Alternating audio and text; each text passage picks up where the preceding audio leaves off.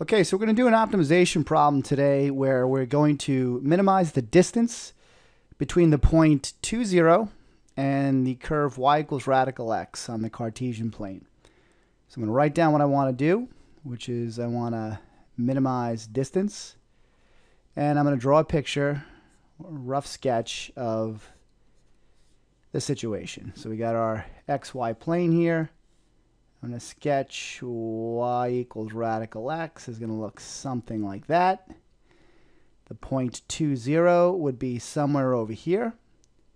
And basically what I want to do is find out where would the point on y equal radical x be so that the distance between 2, 0 and that point is a minimum. So if I'm eyeing it up, it looks like it would be about there, but who knows, right? Any point on y equals radical x, we're trying to figure out where does that point need to be so that we can minimize the distance. Maybe I'll call the length of this line segment d.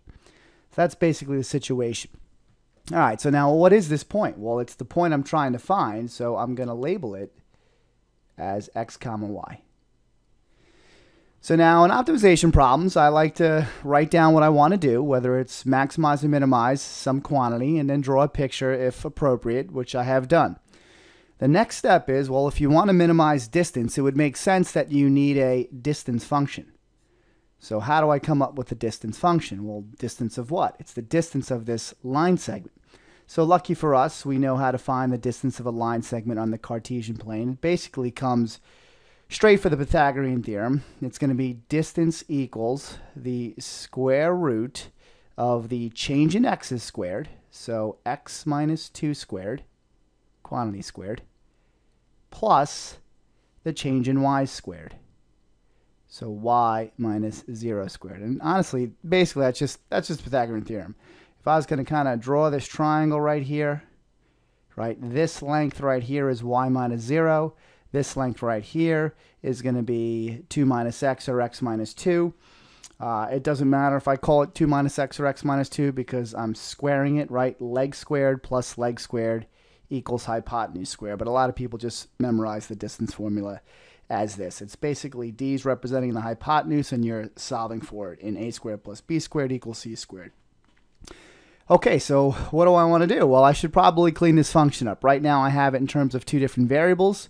Uh, and that's not always desirable when we're doing optimization problems. So, okay, well, what do I do? How do I get y in terms of x? Well, lucky for us, we know that y equals radical x. So I can just go ahead and put radical x right in there.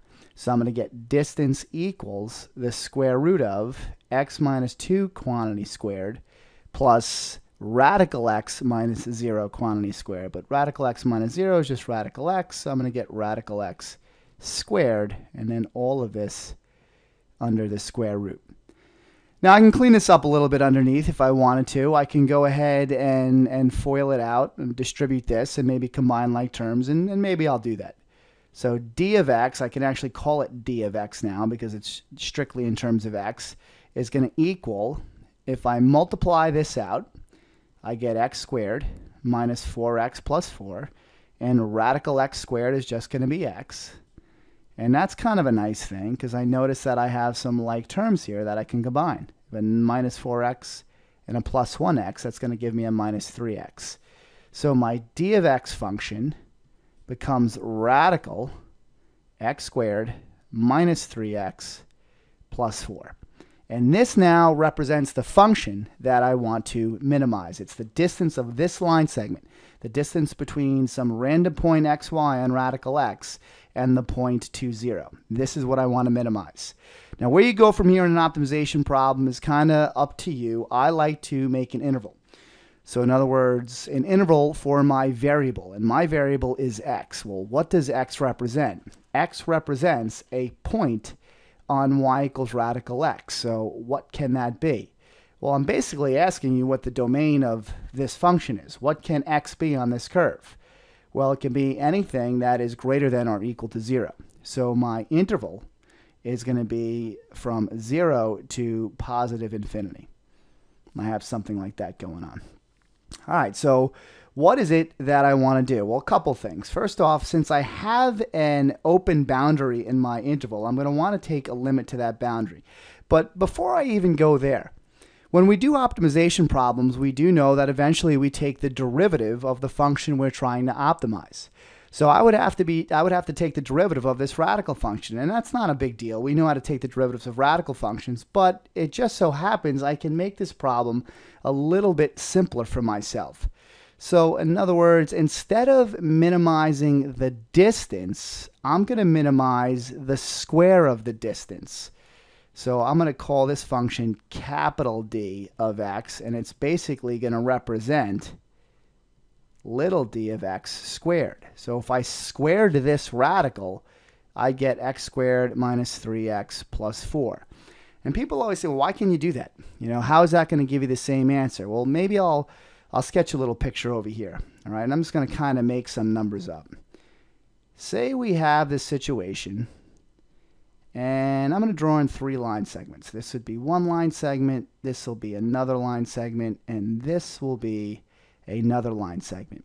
And say I actually was able to know what these points are and I calculated their distances. And it turns out that maybe this distance is 3, this distance is 2, and this distance is 4. So the minimum distance here would be represented by this middle line segment. Well, what would the square of those distances look like? Well, let's take a look. If I squared 3, I'd get 9. If I squared 2, I'd get 4 and if I squared 4, I'd get 16. And the observation to make is that the square of the distance is also minimized right here. So in other words, if you're minimizing the square of the distance, you're also finding the point that minimizes the actual distance. So if that's the case, heck, I'm going to minimize the square of the distance because then I don't have to deal with that radical function. And that's kind of the logic there. That's how we can get away with that. All right, so let's go back to the problem at hand. So now I realize I want to minimize the square of the distance. This is my function. My interval would remain the same. That's not going to change. All right, so I'm still looking at 0 to infinity for my interval. And so now what do I want to do? Well, a couple things. First thing I'm going to do is I'm going to take the limit of d of x as x goes to positive infinity. All right, that might have got cut off a little bit, so let's bring that up a little. Okay, so as x goes to positive infinity. All right, so what's that going to be? Well, this is a polynomial function right here. Limit of a polynomial as x goes to infinity, I'm going to go ahead and take the limit of the highest degree term, commonly referred to as the end behavior model. Which kind of makes sense because that's the term that's going to dominate for large values of x. So to take the limit of this thing as x goes to infinity, that's going to be equivalent to the limit of x squared as x goes to infinity. And that's going to give me positive infinity. So why'd you do that? What does that tell you? Well, that tells me a couple things. It tells me, first off, there is no absolute maximum, which kind of makes sense because I can just keep moving this point over and over and over, creating a line segment that gets larger and larger and larger. So this tells me there's no max. It also tells me that there's going to be a min, and that min is either going to occur at this endpoint of 0 or at a critical point. And I'm actually going to write that. So I'm going to go ahead and write, let's see here, bring this back down. I'm going to go ahead and write, all right, it's because of that limit that I took. Therefore, D has no absolute max, but D will have an absolute min occurring at either an endpoint or a critical point.